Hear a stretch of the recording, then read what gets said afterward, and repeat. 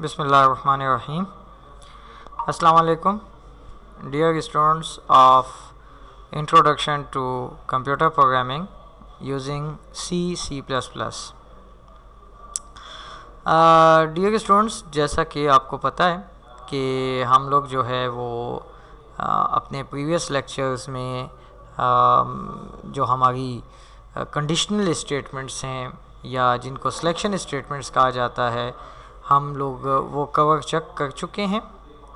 आ, उसमें हमने if if else else if nested if switch statements conditional operator ये तमाम चीज़ें हम लोग प्रैक्टिकली और थियोरेटिकली देख चुके हैं।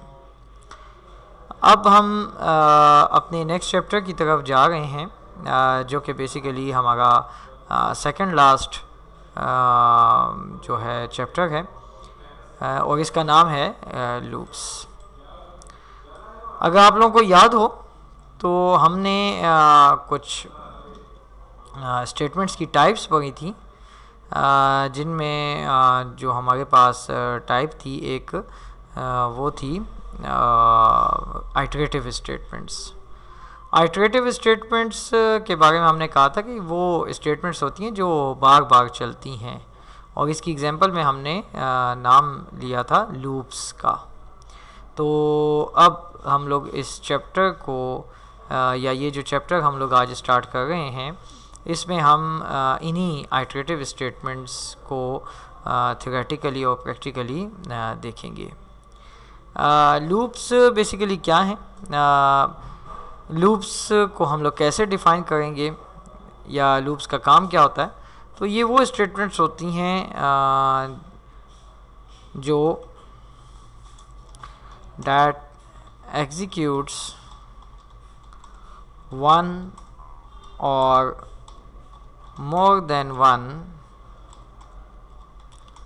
स्टेटमेंट्स ठीक है? Till the given condition remains true. ठीक है? यानी लूप्स क्या होती हैं? या लूप्स का काम क्या होता है? जो एक या एक से ज़्यादा स्टेटमेंट्स को बार बार एग्जीक्यूट करती रहें, जब तक कंडीशन गिवन कंडीशन जो है वो ट्रू है। तो it executes one or more than one statement till the given condition remains true अब हमारे पास लूप्स कौन कौन से हैं? द फ़र्स्ट वन, जिसको हम लोग कहते हैं फॉर लूप, सेकंड, जिसको हम लोग कहते हैं वाइल लूप, और थर्ड, जिसको हम लोग कहते हैं डू वाइल लूप। ये हमारे पास लूप्स की तीन टाइप्स हैं। तो हम लोगों ने अपने कोर्स में या अपने लेक्चर में इन स्टेटमेंट्स को जो है वो अभी या इन लूप्स की टाइप्स को हम लोगों ने डिस्कस करना है। So first of all we start from the for loop कि फॉर लूप क्या होता है। सबसे पहले जगह हम फॉर लूप का सेंटेक्स अगर देख लें तो ज़्यादा बेहतर है। हमें क्लियर हो जाएगा कि ये आ, काम कैसे करता है। तो इसका सेंटेक्स हम लोग देख लेते हैं। इसके फॉर लूप के सेंटेक्स में हम सबसे पहले लिखते हैं कीवर्ड फॉर फिर उसके बाद यहाँ पे ये ख्याल रहे कि ये फॉर का एफ़ जो है, छोटा होता है। फिर हम यहाँ पे इनिशियलाइजेशन करते हैं, यानी अपने वेरिएबल का स्टार्टिंग पॉइंट हम देते हैं। फिर उसके बाद सेमी कॉलन लगा के हम यहाँ पे कंडीशन और फिर यहाँ पे हम लोग इंक्रीमेंट या डिक्रीमेंट इंक्रीमेंट डिक्रीमेंट ऑपरेटर हम लोग अपने प्रीवियस लेक्चर्स में देख चुके हैं कि ये क्या होते हैं। और यहाँ पे हम आ, ये लूप की बॉडी होती है जिसमें हम एक या एक से ज़्यादा स्टेटमेंट्स अपनी देते हैं या दे सकते हैं। ठीक है जी? तो that is the syntax of the for loop for initialization condition increment decrement और ये उसकी बॉडी है। ठीक है जी? तो ये तो इसका थ्रेटिकल पॉइंट ऑफ़ व्यू था, जिसको हमने अभी देखा। इसको हम लोग अभी थोड़ा प्रैक्टिकली देखते हैं कि ये लूप प्रैक्टिकली कैसे काम करता है। तो हम सी प्लस प्लस अपनी स्टार्ट कर लेते हैं। और सबसे पहले hash include I O S T R E A M stream dot H फिर उसके बाद hash include conio dot H और उसके बाद मेन फ़ंक्शन उसके बाद मेन की बॉडी सी आर फ़ंक्शन और उसके बाद अब हम लोग आखिर में गेट सी एच देते होते हैं और फिर उसके बाद हम लोग अपनी बॉडी बंद करते हैं। ये हमारे प्रोग्राम का बेसिक स्ट्रक्चर हो गया। अब हम इसमें फॉर लूप को यूज़ करते हुए कोई आ, काम कोई अपना प्रोग्राम बनाते हैं। प्रोग्राम हम लोग ये बनाते हैं कि वन से लेके टेन तक हम अपने नंबर्स को डिस्प्ले करवाते हैं बाय यूजिंग फॉग लूप ठीक है? तो हम इस प्रोग्राम के अंदर वन से टेन तक के नंबर्स का डिस्प्ले करेंगे बाय यूजिंग फॉग लूप ठीक है जी? तो फॉग लूप को यूज़ करने के लिए सबसे पहली चीज़ कि इसमें हम एक वेरिएबल लेंगे अपना। जो कि बेसिकली काउंटर वेरिएबल जिसे कहा जाता है, हमने वेरिएबल ले लिया आई अब एक लूप स्टार्ट करते हैं। ये इनिशलाइजेशन का पॉइंट होता है और ये इनने इनिशलाइज कर दिए यानी आई को स्टार्टिंग वैल्यू दे दी और फिर आई इज़ लेस देन और इक्वल टू कहाँ तक जाना है? कंडीशन टेन तक जाना है और हर दफ़ा आई की वैल्यू में क्या हो?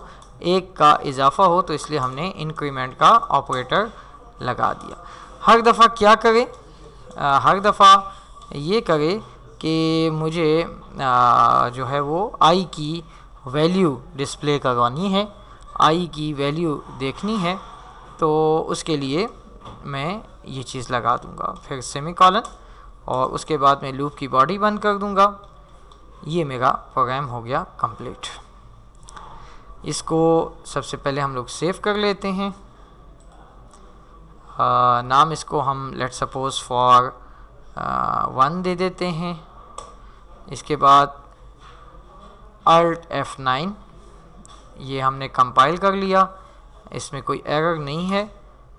इसके बाद इसको हम करेंगे कंट्रोल एफ़ नाइन और ये हमारा प्रोग्राम चला जो वन से लेकर टेन तक नंबर्स को डिस्प्ले कर रहा है। ठीक है जी। अब यहाँ पे अगर आप लोग गौर से देखो तो आप लोगों के जो नंबर्स हैं वो साथ साथ आ गए। ठीक है उसकी वजह ये है कि हमने आ, उसको कहा है कि नंबर डिस्प्ले करो तो वन बाय वन उसने नंबर डिस्प्ले कर दिए। अगर हम चाहते हैं कि इन नम ये नंबर्स जो हैं न्यू लाइन पे हों तो हम इनके लिए स्लैश एन लगा सकते हैं या हम लोग एंड एल भी यूज़ करते हैं। एंड एल और स्लैश एन का एक ही काम है न्यू लाइन अभी तक हमने प्रोग्राम्स में स्लैश एन यूज़ किया था अभी हम लोग एंड एल को यूज़ कर लेते हैं ताकि वो भी आप लोगों की प्रैक्टिस में आ जाए। तो इसने वन डिस्प्ले किया फिर न्यू लाइन पे गया फिर टू डिस्प्ले किया न्यू लाइन पे गया इसी तरह ये टेन तक गया। और हमने कंडीशन दी थी टेन तक की तो उसने टेन तक डिस्प्ले करके वहाँ पे रुक गया है। ठीक है जी? इसी तरह आ, हम लोग जो है वो अगर आ, चाहते हैं कि ये नंबर्स जो हैं वो इवन नंबर्स खाली डिस्प्ले हों वन से लेके लेट सपोज़ मैं चाहता हूँ कि ट्वेंटी तक के इवन नंबर्स डिस्प्ले हों तो मैं स्टार्ट ले लूँगा ज़ीरो से क्योंकि वन जो है वो इवन नंबर नहीं है। ज़ीरो से स्टार्ट ले लूँगा और ट्वेंटी तक जाना है और हर दफ़ा इसकी वैल्यू में आ, मैं कहता हूँ कि टू का इंक्रीज़ करे। तो ये मैंने कंपाउंड ऑपरेटर लगाया जो आप लोगों को हमने क्लास में देखा भी था प्रीवियस क्लासेस में आप लोगों को मैंने बताया भी था। तो ये हर दफ़ा वेरिएबल की वैल्यू में टू का इंक्रीज़ करेगा। तो पहली वैल्यू ज़ीरो फिर टू फिर फोर फिर सिक्स और इस तरह ये आगे जाएगा। तो that is the displaying even numbers from zero to twenty या वन टू ट्वेंटी जो भी आप कहें। तो ये ज़ीरो टू ट्वेंटी हमारे पास जो है वो डिस्प्ले कर रहा है क्योंकि हमने ज़ीरो से इसको स्टार्ट किया है। ठीक है? तो ये हमें नंबर्स डिस्प्ले करेगा इवन नंबर्स ठीक है जी? अगर लेट सपोज़ हम लोग कहते हैं कि आठ नंबर्स डिस्प्ले करें तो हम लोग इसको वन से स्टार्ट कर लेंगे और ये हमें आठ नंबर्स शो कर देगा। वन से ट्वेंटी तक के जो नंबर्स हैं, उनमें आठ नंबर्स को डिस्प्ले कर देगा। ठीक है जी। इसी तरह अगर हम चाहते हैं कि ये वन से ट्वेंटी तक के नंबर डिस्प्ले करें तो इस तरह भी हो सकता है। ठीक है, ये वन से ट्वेंटी तक के नंबर्स हो गए। इसी तरह अगर मैं कहता हूँ, भाई, ट्वेंटी से वन तक के नंबर्स डिस्प्ले करें तो शुरू ट्वेंटी से कर लेंगे। और कहाँ तक जाए? वन तक जाए। और हर दफ़ा उसकी वैल्यू में एक एक माइनस हो। तो ये आप लोगों का ट्वेंटी से वन तक के नंबर्स को डिस्प्ले करने का प्रोग्राम बन जाएगा। इसमें मैंने चेंज क्या किया? प्लस प्लस की बजाय माइनस माइनस कर दिया ताकि वो माइनस हो हर दफ़ा। और कंडीशन में मैंने यहाँ पे लेस की बजाय ग्रेटर देन कर दिया। स्टार्टिंग पॉइंट जो है मैंने ट्वेंटी कर दिया जो जहाँ से मैंने उसको डिस्प्ले करवाना था। ठीक है जी? तो ये हमारे फाग लूप का तरीक़ेकार है कि इसमें हम लोग कोई काम भी आ, एक से ज़्यादा दफ़ा करवा सकते हैं। इसी तरह आ, एक दफ़ा पेपर में एक प्रोग्राम आया था डी के जिसमें था कि write a program to display ten times Pakistan यानी दस दफ़ा पाकिस्तान को डिस्प्ले करने का उसमें प्रोग्राम बनाना था। तो दस दफ़ा डिस्प्ले करना है प्रोग्राम में तो यहाँ पे हम लगा देंगे पाकिस्तान और फिर ये चीज़। तो अब ये दस दफ़ा पाकिस्तान को डिस्प्ले करेगा। अगर हम चाहते हैं कि इस पाकिस्तान के साथ नंबर्स भी आएँ ठीक है तो हम यहाँ पे अपना वेरिएबल आई भी दे सकते हैं। अब नंबर्स और पाकिस्तान के दरमियान में फ़ासला नहीं है आ, बिल्कुल साथ उसके आ, ये लगा हुआ है तो इसको अगर दूर करना है तो यहाँ पे हम एक स्पेस दे देंगे। ठीक है। अगर हम चाहते हैं कि नंबर के बाद डॉट आए तो हम यहाँ पे डॉट भी दे सकते हैं।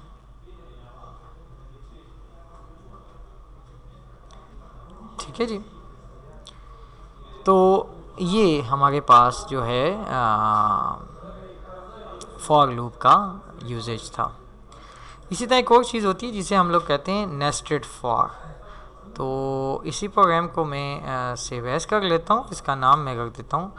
नेस्ट फॉर ठीक है। Nested for loop. Nested for loop जो है वो अगर आप लोगों को याद हो तो इस तरह की हमने एक टॉपिक इस तरह का पहले भी किया था उसका नाम था नेस्टेड इफ़। तो नेस्टेड इफ़ और नेस्टेड फॉर में आ, कोई ख़ास डिफरेंस नहीं है नेस्टेड इफ़ में क्या था कि जब हम किसी इफ़ स्टेटमेंट के अंदर इफ़ स्टेटमेंट को यूज़ करते हैं तो उसको नेस्टेड इफ़ कहते हैं। इसी तरह जब हम किसी फॉर लूप के अंदर आ, किसी दूसरे फॉर लूप को यूज़ करते हैं तो that is called nested for loop तो मिसाल के तौर पे अगर ये मेरे पास सिचुएशन है मैं इसको यहाँ पे कॉपी कर देता हूँ ताकि आप लोगों को इसका सेंटेक्स समझ में आ जाए। ठीक है। ये जी आप लोगों का नेस्टेड फॉर लूप का सेंटेक्स है। ये बेसिकली क्या बता रहा है? ये बेसिकली ये बता रहा है कि आप लोगों के एक फॉर लूप के अंदर दूसरा फॉर लूप यहाँ पे काम कर रहा है।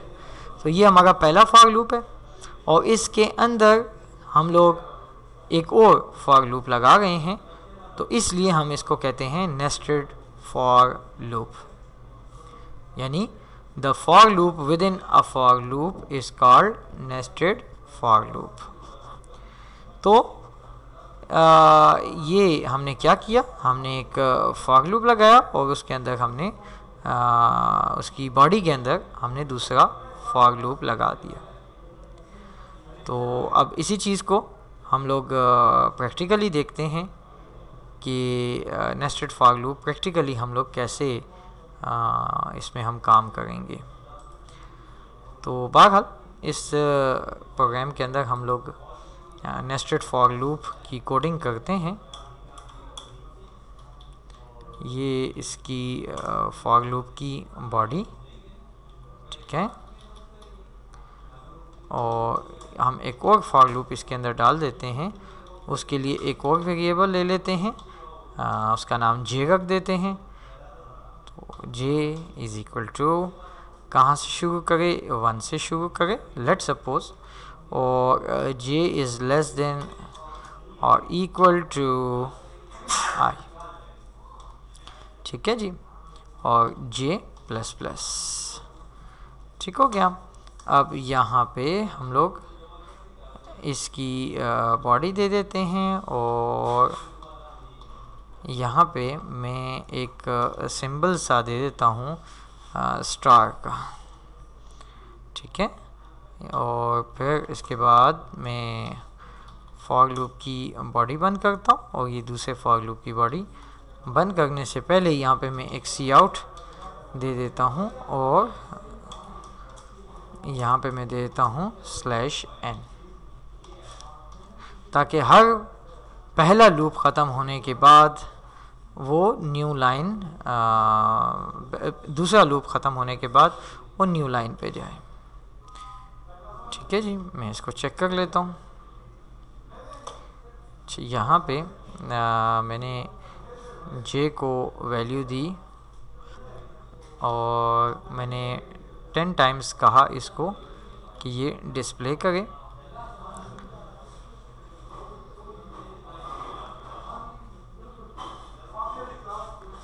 ये यहाँ से मैं एंड एल को हटा देता हूँ। ये इसकी वजह से मसला कर रहा था। तो ये हमारे पास कुछ इस तरह की पोजीशन बन गई। यहाँ पे हम लोगों ने क्या काम किया? यहाँ पे ये जो आप लोगों को आ, कुछ डिज़ाइन सा नज़र आ रहा है ये बेसिकली अगर आप लोग इसको गौर से देखें तो इसमें पहली लाइन पे हमें एक स्टार नज़र आ रहा है दूसरी में दो तीसरी में तीन, फिर चार, पाँच, छः, सात, आठ, नौ और आखिरी वाली में दस स्टार्स हमें नज़र आ गए हैं। अभी मैं ज़रा इसको समझा देता हूँ कि ये दस स्टार कैसे आ गए तो असल में ये लूप कितनी दफ़ा चलेगा? दस दफ़ा। मतलब ये कि ये इसके अंदर जो कुछ है वो दस दफ़ा चलेगा, इस पहले लूप के अंदर। तो पहली दफ़ा ये जब इसके अंदर आएगा तो जे की वैल्यू वन थी, और ये जे वन से चलेगा आई तक तो आई भी वन है। तो ये वन से चलेगा वन तक, और ये एक दफ़ा स्टार डिस्प्ले करेगा, बाहर निकल आएगा, और न्यू लाइन पे चला जाएगा। फिर दूसरी दफ़ा के लिए आई टू हो गया, और फिर ये स्लूप के अंदर आएगा, और ये अब वन से शुरू करके आई तक, यानी दो दफ़ा चलेगा तो ये दो स्टार कर देगा। न्यू लाइन पे जाके अगली दफ़ा ये तीन दफ़ा, तीन स्टार आ गए। अगली दफ़ा चार, फिर पाँच, फिर छः सात, आठ, नौ, दस।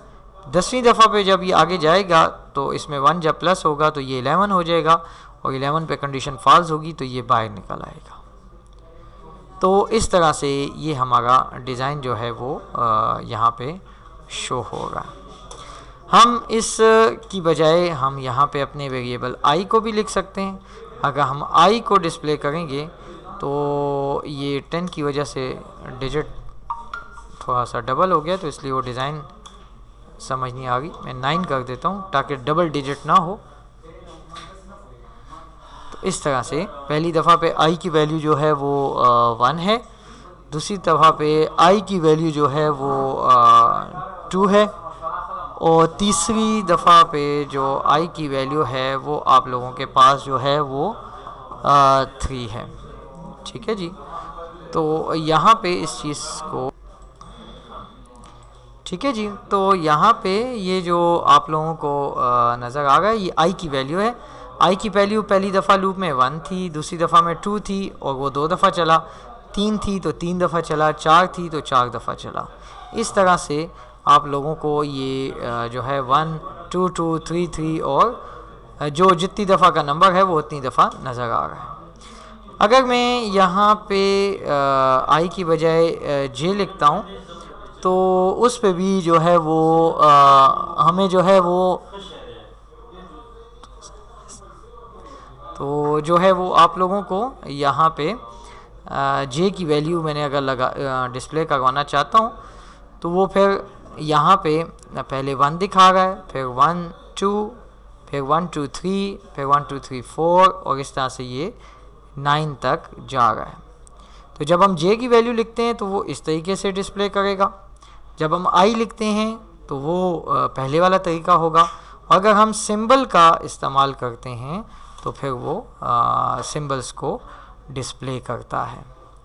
तो ये हमारा जो था वो नेस्टेड फॉग लूप का प्रोसीजर था। नेस्टेड फॉग लूप का यूजेज था कि नेस्टेड फॉग लूप जो है वो किस तरह से काम करता है।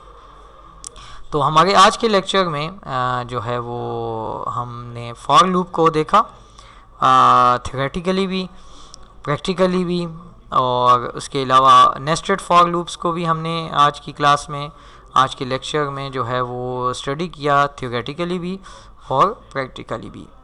इन नेक्स्ट क्लास में हम लोग जो है वो लूप्स की जो आ, बाकी दो टाइप्स हैं that is the while loop and do while loop तो नेक्स्ट क्लास में हम इंशाल्लाह उसको डिटेल से देखेंगे जिस तरह आज हमने फॉग लूप को देखा।